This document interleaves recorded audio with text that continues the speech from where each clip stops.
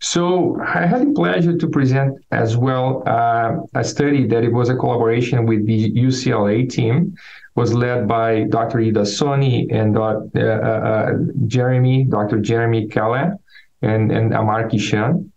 For, for patients who have salvage radiation to the prostate bed, uh, which is a potentially curative for patients with biochemical recurrence after prostatectomy. It's probably the only uh, option for curative treatment if these patients fail a, a, a surgery.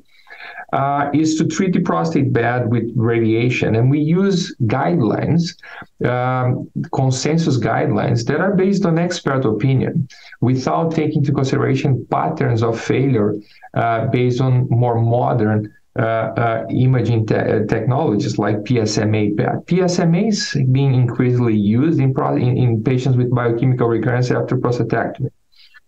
So what we did, we uh, radiation oncologists uh, they contour the prostate bed on the CT component of the PET scan, blinded to the PSMA PET component.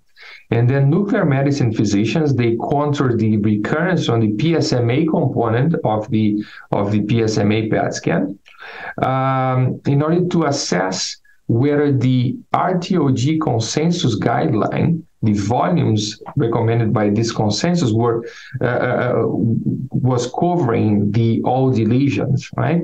So basically, we wanted to document where these lesions occur and uh, if the current consensus guidelines cover all these lesions. And, uh, and then we defined where this lesion was fully inside, partially covered, or fully outside of the CTV.